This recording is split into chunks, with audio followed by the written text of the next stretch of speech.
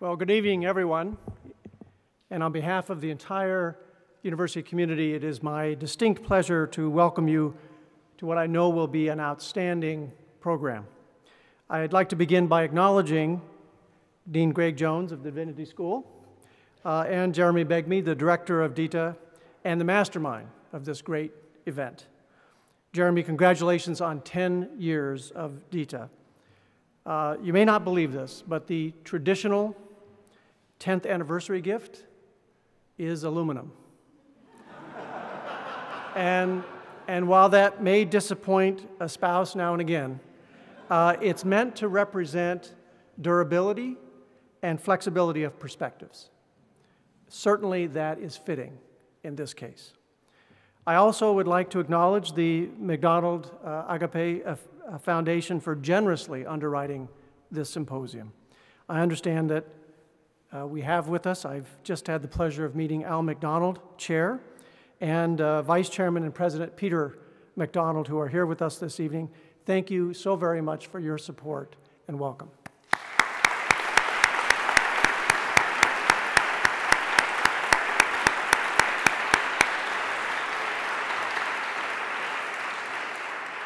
So, Goodson Chapel is not only a beautiful space, it's also a wonderful setting for this evening's event, as it demonstrates the vital connection between uh, the spiritual and the aesthetic.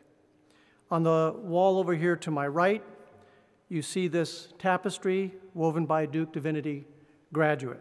The piece offers an interweaving of dark and light, of color and shadow meant to represent the divine's ability to shine through even in our darkest moments. And up the balcony is the Richards and Fowkes pipe organ, which lifts the hymns sung by the congregants at the weekly work, worship services here uh, in this space. And walking by the building on a spring morning, you can hear this beautiful music echoing out across the quad. And above me here, perhaps uh, the most vivid piece, the chancel cross, a universal image, but cast in a truly innovative way. The artist, Thomas Sayre, developed a process called earth casting, cutting shapes out of raw earth and then setting those in concrete, and produced a piece that is simultaneously visceral and transcendent. These three pieces I think, demonstrate the many ways that art can help us to access the spiritual, to better understand our relationship with the world around us, and to better understand our faith. It's through great art and music and through the interpersonal connections that they offer that we can seek answers to some of the most challenging questions that we face as human beings. And with that in mind, I want to congratulate all of you and thank all of you for the important work that you are doing. In this room this evening are the leading thinkers on theology and the arts from around the world. And I know, I have great confidence that this will be a very, very productive symposium. I'm delighted to welcome all of you to Duke University and to wish you the very, very best for this wonderful event. Thank you.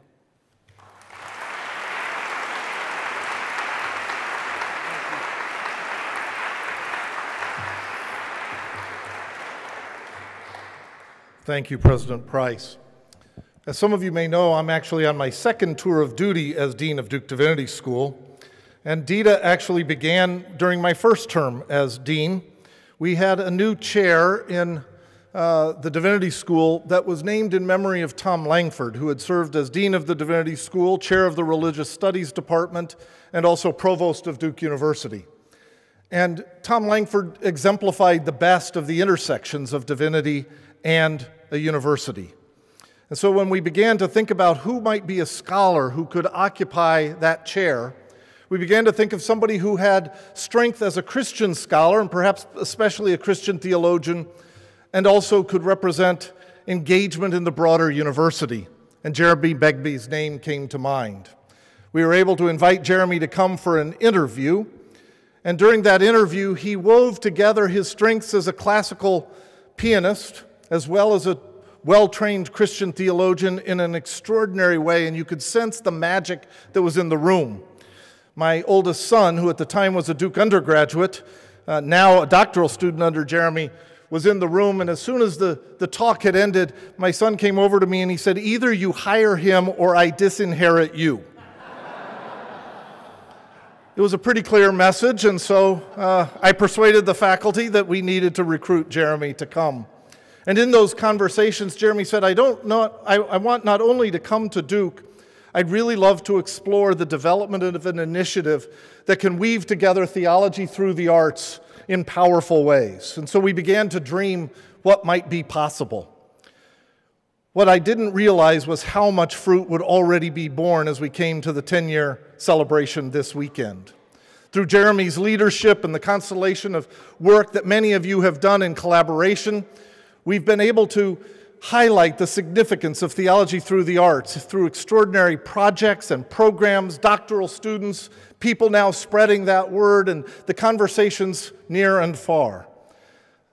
Because of the work that has happened here and the, the networks that have developed as a result of it, significantly through the support of the McDonald Agape Foundation, work on theology and music and modernity, theology and the visual arts, a steering committee that's worked on projects, a commissioning of a St. Luke Passion with the Scottish composer James Macmillan.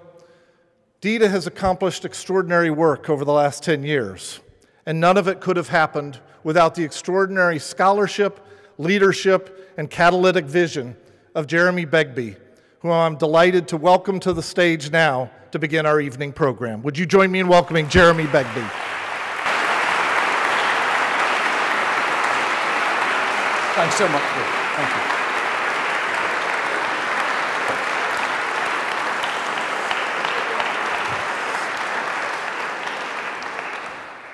Thank you so much, Greg, and indeed for all your support over the years. President Price, donors, invited guests, registrants, all who are here this evening, I too welcome you to what I know will be an extraordinary feast of riches.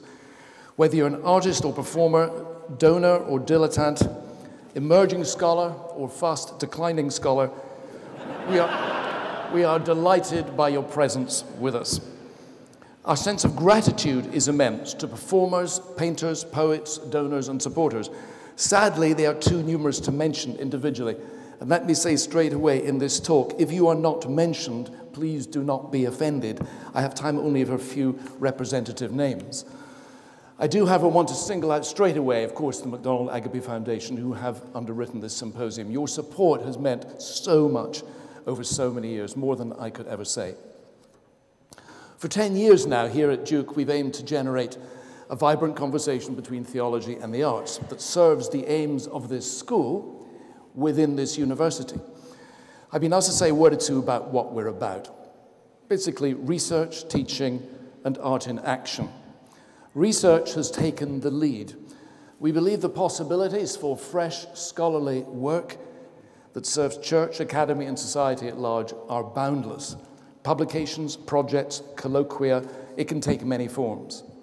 Our doctoral and postdoctoral students are key to this, and I'm delighted that over the next three days they'll be meeting with other emerging scholars to forge new paths for the years to come.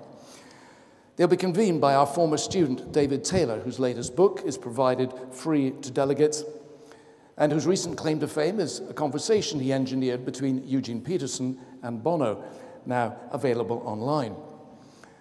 On a wider front, our leading current research project with Yale and Cambridge aims to show how the arts can help us read the theological currents of modernity. The first book from that on music will be out next year with Oxford University Press.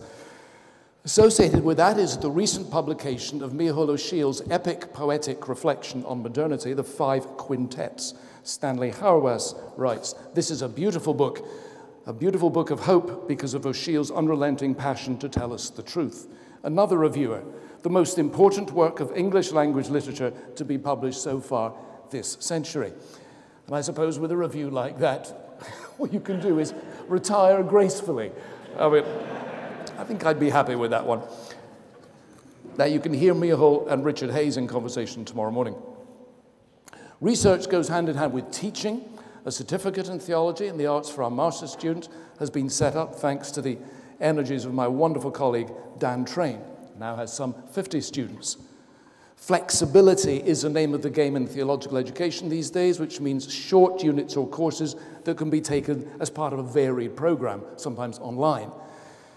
And that many, many disciplines need to be involved wherever possible. We've been blessed by a range of visiting teachers and speakers over the years, including Sandra Bowden here. Is Sandra here this evening? Not yet. She's on her way, I think. And recently, Saskia Keeley, a journalist who spoke about photography workshop, workshops she set up in the West Bank for Muslims and Jews. And then, in the midst of all this, art in action. We've been delighted to partner with St. George's Nashville to help develop a vibrant arts ministry in a local church setting. A team from St. George's is here. Likewise, with Reality Ministries here in Durham, a community of diverse abilities and disabilities. As Greg mentioned, we were proud to commission a St. Luke Passion by Sir James Macmillan, which arose out of conversations between the composer and a multidisciplinary group of biblical and theological scholars. It was premiered here in Duke Chapel with Durham's Children's Choir a dance collaboration with the Office of Black Church Studies, a commission painting from Bruce Herman, who is here tonight. We welcome Bruce and his colleague Jack Redford back here for this symposium. A concert last March marking the publication of this book by faculty member Xi Lian about a Chris, uh, Christian Chinese martyr, Lin Zhao. The conductor at the concert here is Carlos Colon, who together with the ever productive Malcolm Guite, will be leading our worship at DITA 10. And an event two years ago in this chapel bringing together an orchestra of professional musicians of faith. You can hear them on Saturday night. This is the Dean of Duke Chapel, Luke Powery. Now, to be honest, there's something in me that cringes at success talk. I am, after all, a Brit, and the Brits are much happier agonizing over problems than celebrating solutions. Just look at Brexit. Uh, so let's be clear, we're guilty of making many blunders, many missed opportunities, most of them of my own making. But after 10 years, we're convinced that the interplay between the arts and articulate Christian wisdom is more important than ever, and especially in our current cultural climate. The other day I came across this from environmentalist John Robinson of the University of British Columbia. Our failure to address environmental issues is not a failure of information, but a failure of imagination. We need to reimagine the way we are relating to the physical world around us. We tend to think there's only one way to do that. And it's the arts, of course, that specialize in jolts of the imagination. The arts at their best jerk us out of thinking that the way things are now is the way things have to be. The arts are not simply exotic extras. There will always be art as long as we are creatures of hope. And that could hardly be more relevant for a faith which, by its very nature, is animated by hope. Now, of course, we're aware that many of you have been ploughing the theology and arts field for a long time. Some of you may have known Bono for even longer than David Taylor. But that's why we're here, to sense together where God might be tugging us in the next 10 years and beyond. The vision we seek is wider than any one of us can dream up on our own. So, conversations are going to matter more than anything else. And out of these conversations, a book will appear, certainly, pulling together the fruits of the symposium. But much, much more, we hope, partnerships, projects, journals, online resources. Who knows? And speaking of wide visions, it doesn't get much wider than creation and new creation. So let me say a word or two about this double headed theme and why we've chosen it. First, and most obviously, because it resonates with the arts. Artists create, fashion clay, construct theatre sets, shape stories, we speak about artistic creativity, the creative process. And the new in new creation, that too has obvious links with the arts. Artists bring about things that haven't existed before. Indeed, artists often have a kind of fetish for the novel, the original, the unexplored, the unprecedented. The theme also resonates with the arts in that it deals with the things of this earth, matter embedded in space and time. Creation and new creation are about God forming this very material world out of nothing, and for some strange reason, refusing to let it go when things go wrong, working to recreate it. All very relevant to those who spend hours scraping wood, mixing paint, rubbing brass, picking at strings. But the other main reason we've chosen this theme is because it's so obviously biblical. In fact, you could say it sums up the Bible's basic plot line from creation to new creation, from the explosive let there be of Genesis to the dazzling new heaven and earth of Revelation. God makes, God remakes. It's a plot line that bursts to the surface, most of all in the Apostle Paul, in passages like 2 Corinthians 5. If anyone is in Christ, there is a new creation. Galatians 6, also, not to mention Romans 8. And let's not forget, those texts are only echoing earlier Jewish scripture, like Isaiah, who wrote quite openly of a new heaven and a new earth. To be frank, looking back over the last 10 years in the theology and arts scene, I'm surprised how little sustained attention there has been to scriptural text. After all, it's in these writings, above all, that we're put in touch with God's most decisive action in this world, climaxing in Jesus Christ. The identity of Christian faith is always going to depend on these texts more than any others. However much we might learn from von Balthasar, or Wolterstorff, Aquinas or Barth, Coakley or Tanner, however mesmerized we are by Maritain or Marion and Kristeva, indeed any philosopher, French or otherwise, unless, unless at the same time we keep returning to what these texts bear witness to and mediate, I doubt we'll get much beyond running around in our own self made circles. So, for the rest of my time, let me try to unfold this double theme a little creation and new creation, give some pointers about how I hope it'll be especially fruitful for this symposium. And I want to concentrate on new creation in particular, since it's through the new creation that the nature, the deepest nature of the first creation, comes fully to light. Some lines from a poem by Richard Wilbur, given to me by the late and great Roger Lundin of Wheaton College, whose dear wife is with us this evening. Wilbur muses on the fact that we never really invent anything, but as he puts it, merely bear witness to what each morning brings again to light. A lot of what we see amazes us wind and breath, dew on oak leaves, shade on soil. But most amazing is that all these things are there before us, before we look or fail to look, there to be seen or not by us. There before us. I want to suggest this goes, this applies not just to creation, the created world, obviously, but even more to new creation. New creation is there before us in three senses. First, it's there before us in that it's behind us. It is something already achieved. It's one of the marks, of course, of modernity that humans have come to think that the only significant things to happen in history are things we've made happen. That's why it grates when Christians insist that the most decisive event within world history didn't happen because we made it happen. But that's what lies behind Paul's talk of new creation something already achieved before we lifted a finger.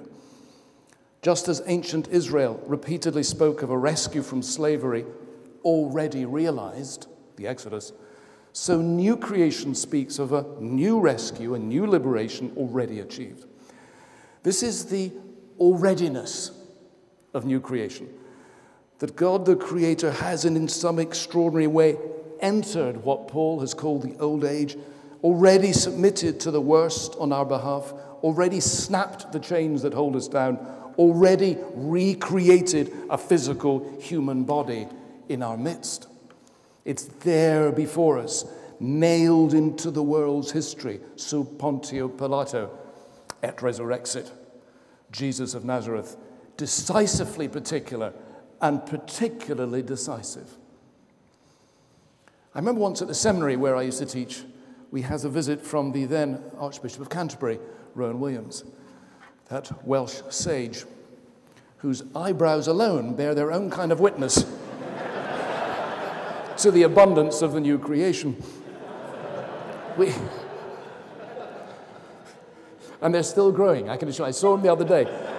They're still moving. They're still on the go. Okay, just extraordinary. We asked him what he'd like us to teach our students. He just said one thing. It's very simple. He said, "I'd like them to sense the pressure out of which Christianity burst." He was saying that for the New Testament writers, they didn't set out to write something tidy called the New Testament. Something had happened to them, world shaking had happened in their midst, with its epicenter in a body risen from the dead. Something had erupted in their midst, someone who embodied a victory that could never be undone. A door had been opened irreversibly, undoably. This is the primal pressure of Christianity. From an American sage, another sage, American sage, James K.A. Smith, who's fast catching up with Rowan on the flourishing follicles front. You will notice. He asks, How many paradigms of supposedly Christian political theology operate as though the resurrection never happened? How many paradigms of supposedly Christian accounts of the arts operate as if the resurrection of the crucified one never happened? Of course, it's hard to believe. My goodness, it's hard to believe. But suppose it were true. Um, in the same circle of ideas, uh, my wife's birthday had just passed, and I wanted to give her a set of photographs arranged in a book. You know, you can send them away, send your photos away to these sites online. And when it was ready, they sent me an email back, this one. Don't you love that? your creation has been made. It's actually got a lot to it, that. And you see what I'm trying to say. In Christ, the new creation has been. So there we are. Just remember that. Theological statement from Photobox. If there's a representative there tonight, you know, I'd love to see you afterwards. We can, we can have a talk about Jesus. Okay. Second, just because of this, second, new creation is there before us. In the second sense, it's ahead of us. This too lies behind Paul's talk of new creation. The raising of the crucified Jesus is a preview of what will happen to ta panta all things, and no less. Let's be clear when 2 Corinthians 5 speaks of new creation, the vista is cosmos wise. Just read our own Richard Hays, along with a brilliant monograph by Ryan Jackson. The backstory is Jewish, a belief that God is committed to this world and committed to giving it a future beyond imagining. God dwelling with his people, the bereaved dancing, the voiceless singing, those denied justice in this life joining the cry of the righteous, holy, holy. All this in the midst of a giant cosmic makeover. The Balinese artist Nyoman Darsane paints the lush landscape of his homeland, but not even Bali looks this good. This evokes the new heaven and the new earth, a perpetual stream flowing from God's throne nourishing the tree of life, here a giant mango tree. The rich life of the new creation, nourishing, endlessly profuse. And so to a third sense of there before us. New creation is there before us in that it's accessible to us now. It's there. This is by a former student, Bethany Tobin, who's the, one the, in the first theology and arts class I taught here. She was in this class, and, and uh, she's not here tonight, but some in that class are. The painting she very kindly painted for me, and it's in my office. It's called Pentecost, the coming of the Holy Spirit. Notes of music, some of you will see, particularly in the front, uh, manuscript paper here, music notes. Notes of music push into the present, the music of the future bursting in to the here and now. This is the work of the Holy Spirit the life of the new creation becoming accessible now. Or words from John Donne, 17th century, written when the poet believed he was on his deathbed. Since I'm coming to that holy room, where with thy choir of saints forevermore I shall be made thy music. As I come, I tune the instrument here at the door, and what I must do then, think here before. Like a child who hears a great choir and orchestra through a crack in a concert hall door, the music she longs one day to join, she starts to tune in and join in now. Two other images.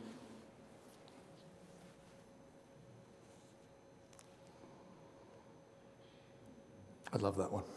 Isn't it wonderful? And let's never forget, talk of new creation in 2 Corinthians 5 leads straight into a talk of the ministry of reconciliation. Any reconciliation we know today is a foretaste of the reconciled community of the great tomorrow. Peter Kuzmic, the theologist, hope is the ability to hear the music of the future, and faith is the courage to dance to it now. Now, it's interesting because dance is a metaphor there, obviously. But what if we were to rethink the art of dance along these lines, as capable of affording now a concrete preview of the redeemed body of 1 Corinthians 15, released from the gravity of sin and death? This is Leah Glenn, who will be dancing for us later. She arrives tomorrow. She'll be dancing on Saturday night with others, with Uwe Steinmetz, who I saw over there. Is that right, Uwe? Our saxophone friend. Well, with that in mind, it seems fitting at this point to hear an invocation of the Spirit, and especially appropriate at the start of a conference like this. So, here to sing the ancient chant, Veni Creator, the distinguished soprano, dear friend, and doctoral theology student at, unfortunately, another university. Awet Andemicael, do come up. Welcome.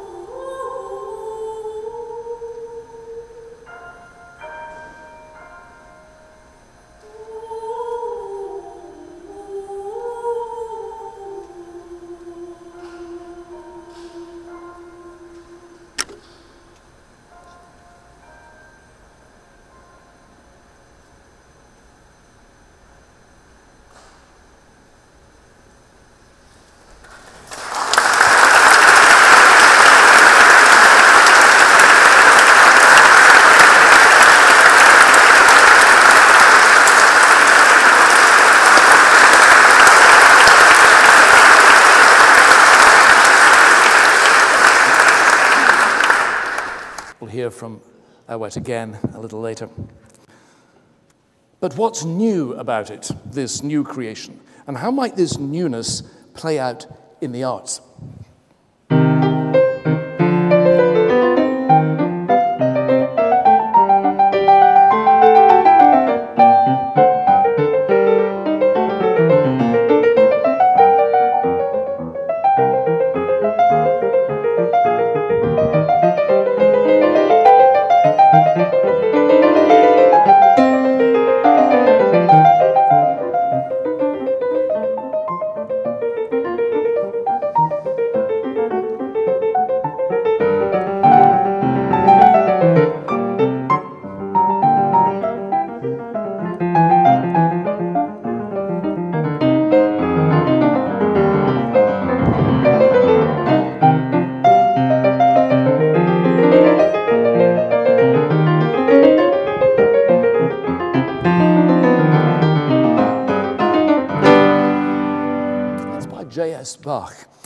And it's the beginning of a piece called Capriccio. Bach, I think, is the ultimate musician of the new creation. And digging into this little piece, we begin to see why. Most of what Scripture says about new creation has a double sidedness to it. And much depends on holding both sides together. And we can hear both sides here. First, new creation is new in the sense it doesn't simply flow out of the old. If you've ever tried to learn any Bach, you'll probably be more irritated than anything else, at least to begin with. And that's just because when you think you got it and you know what's going to come next, he'll throw in a musical banana skin, something you couldn't guess in advance. For instance, so I'll do it again.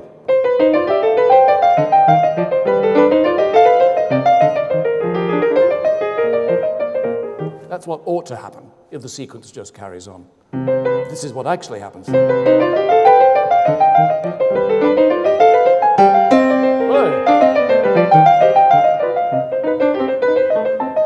Where did all that come from?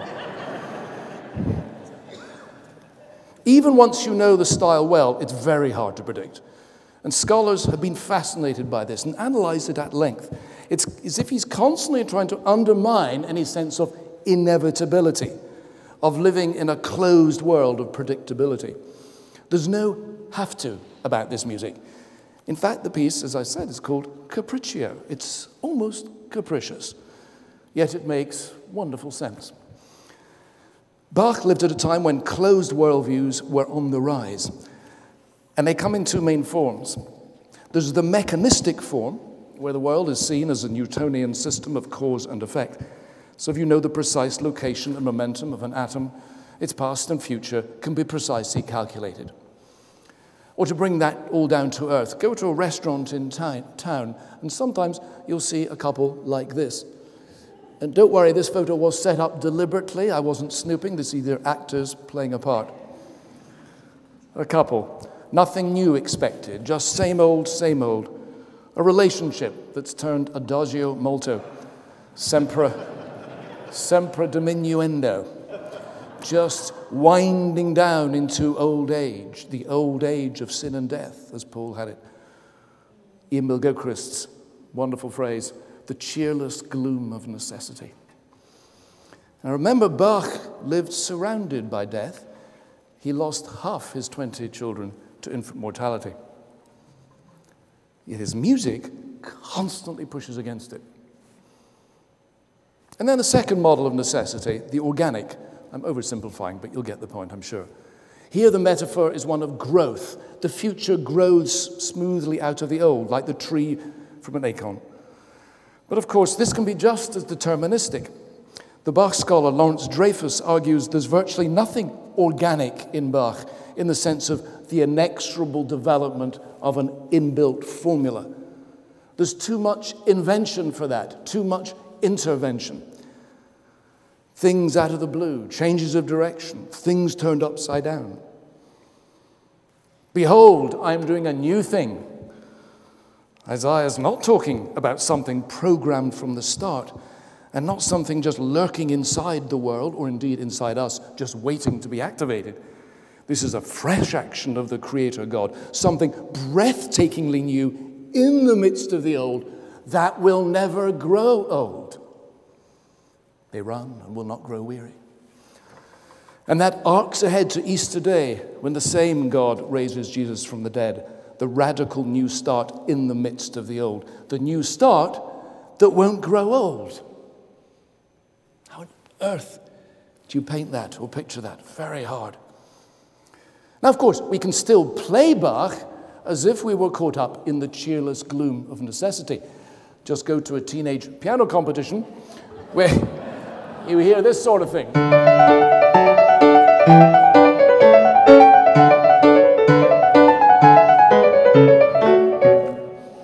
Behold, I'm doing an old thing and it's boring. Isn't it interesting that musicians call this kind of playing unforgiving? See, without, without something authentically new, there can be no forgiveness. We will be trapped in endless cycles of recrimination and revenge. Bach knew there was another possibility, another kind of justice, and it's called new creation. And he played it out in sound, or at least when you play it like I think he meant it.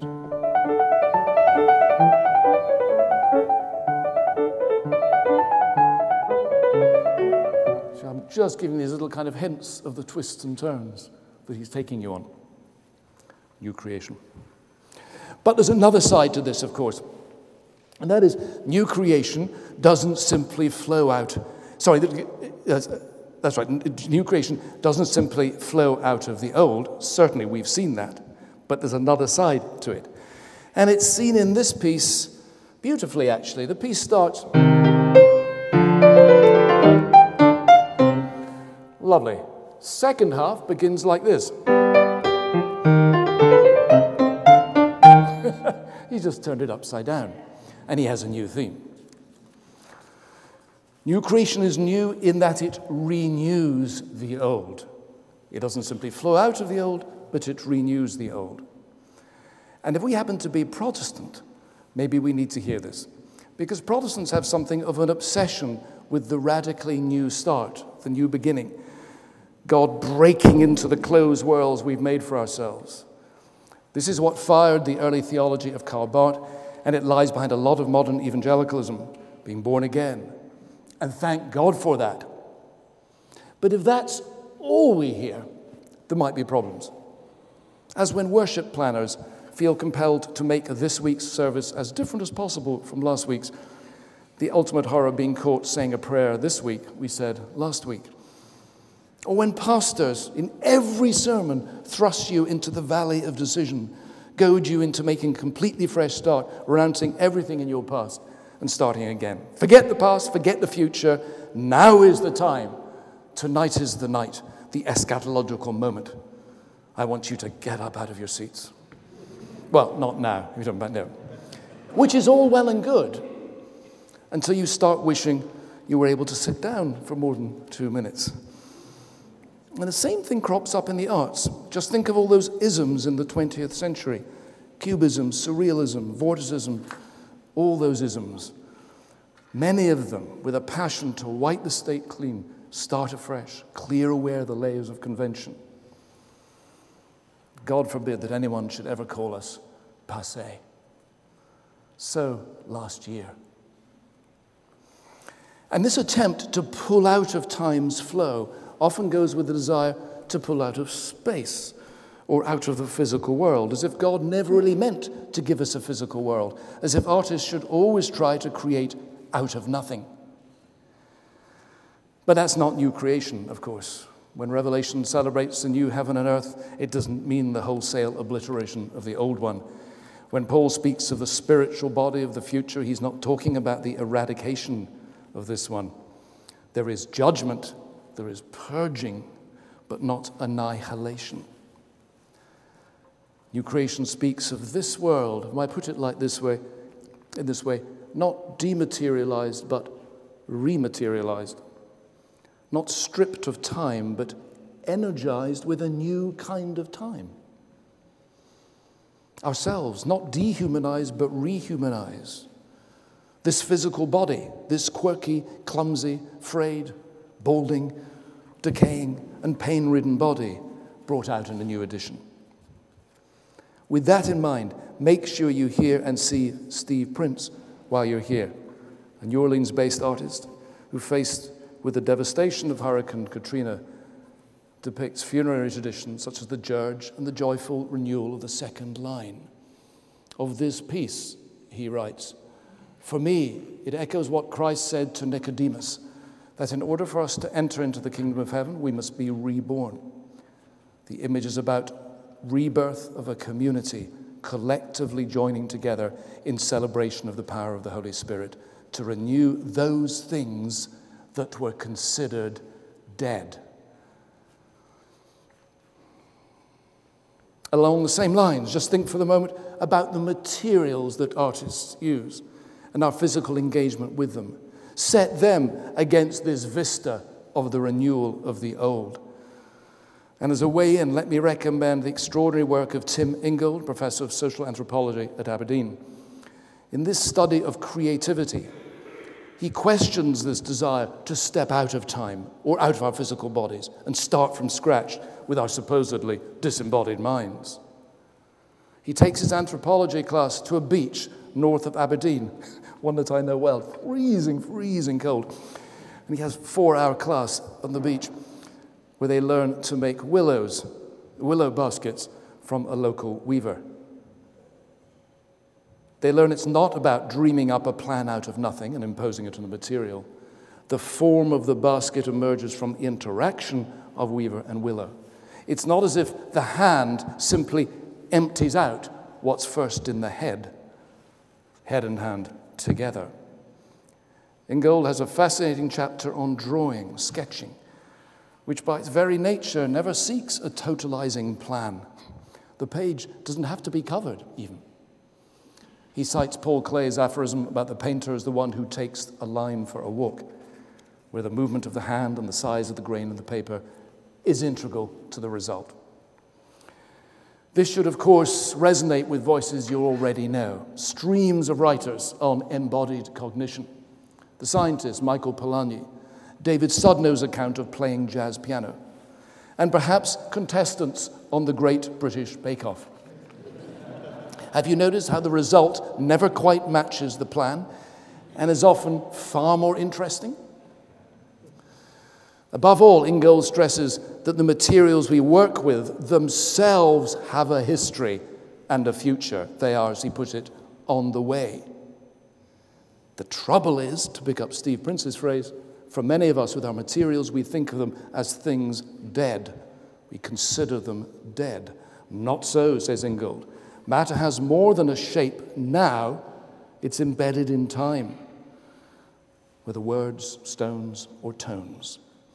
Now set all this against the backdrop of creation, new creation, and things begin to happen. The very things we work with have been there before us, long before us, through the good favor of God.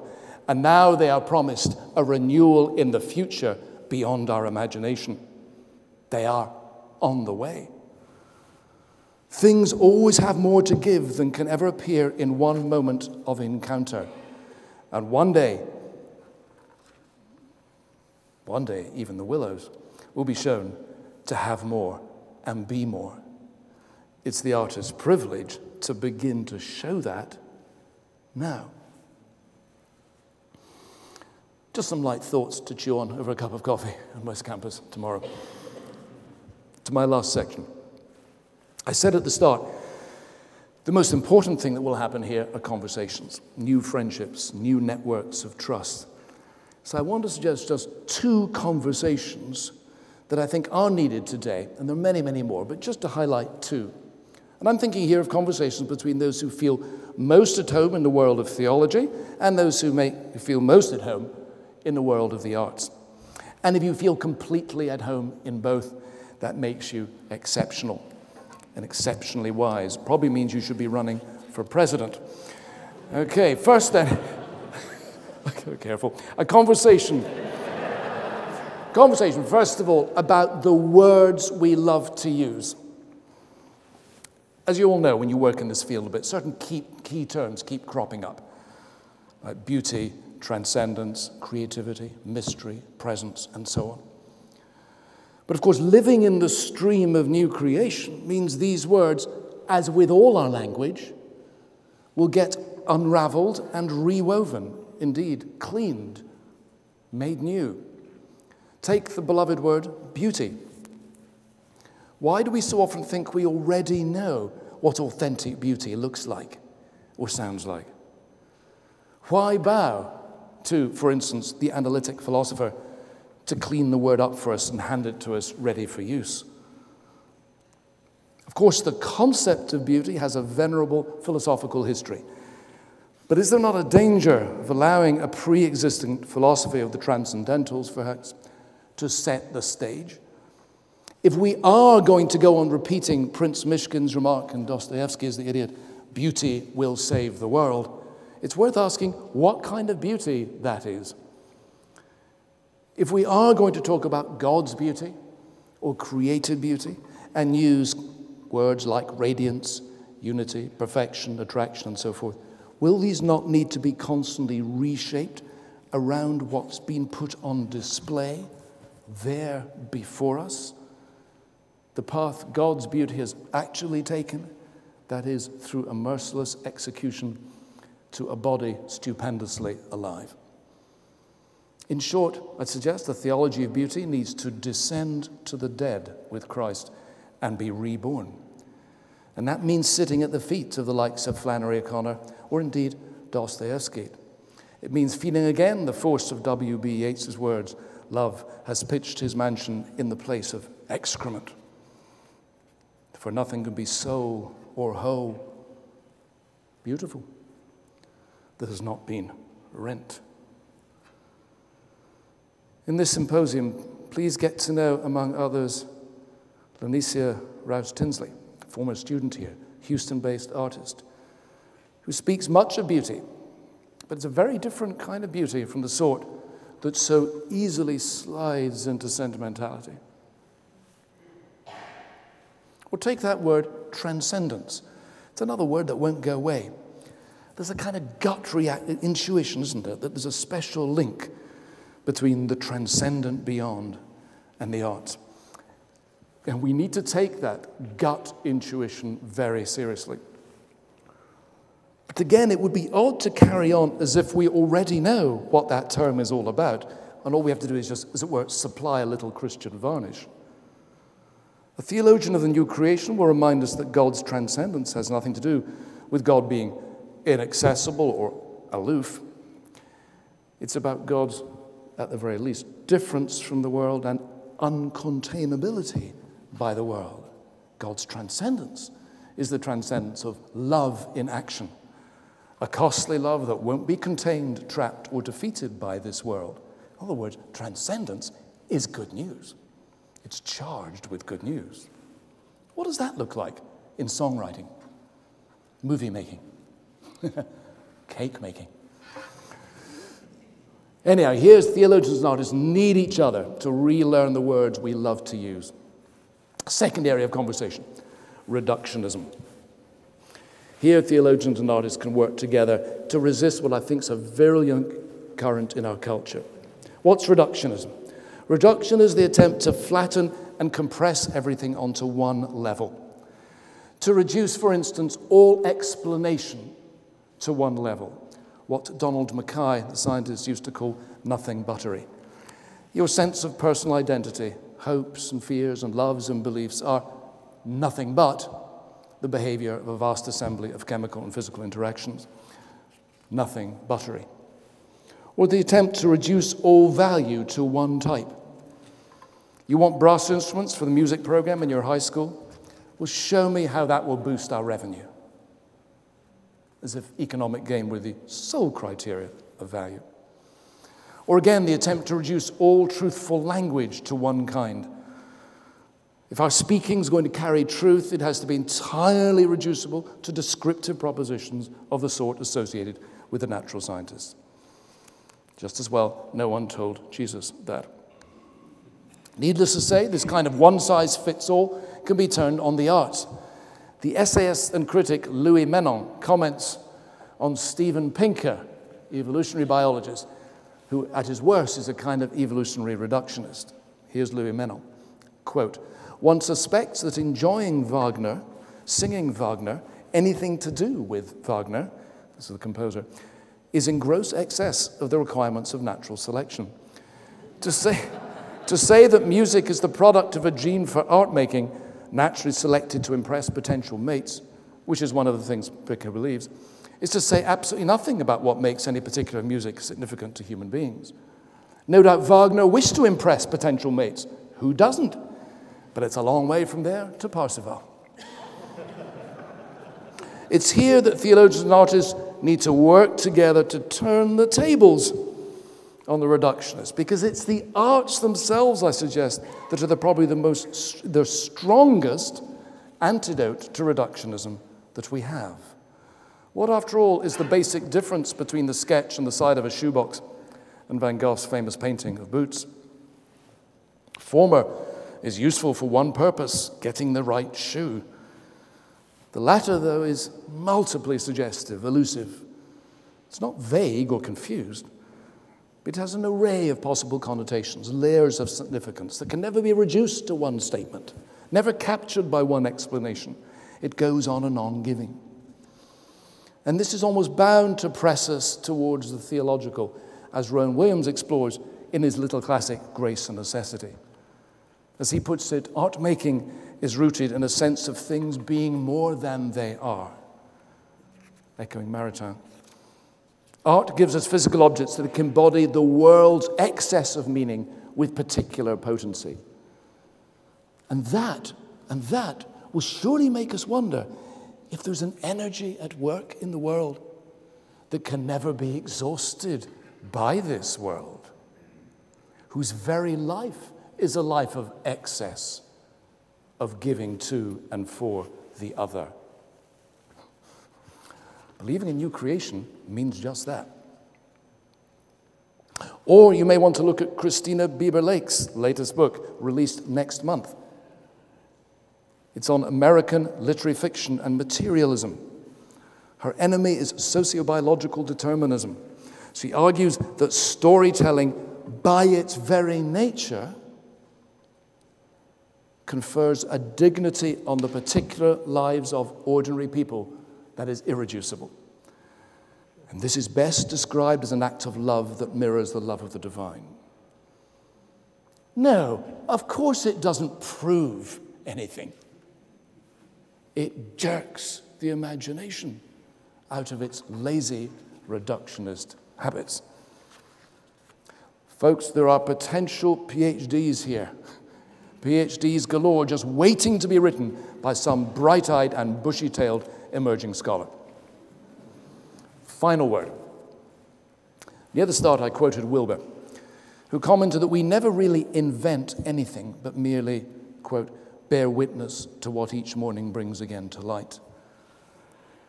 Now, I think that's a little too simple, but it's the word witness I want to underline and finish with. Amid a lot of talk of originality, inventiveness, transgressing boundaries, perhaps this very biblical word and concept of witness is worth revisiting. By their very nature, witnesses are caught up in something they didn't start. Artists of the new creation will always, at the deepest level, be witnesses whatever the subject matter or style. Witnesses to something that didn't originate with them, something they didn't invent. Witnesses to someone, and someone indeed who has transgressed any boundary we are likely to face. Someone who has been there before us and who now goes before us. With that in mind, Awet, to sing again. This is an arrangement of a spirit which wonderfully ties together witness and new creation. I don't think we need to introduce it in any other way, need we? Just head in.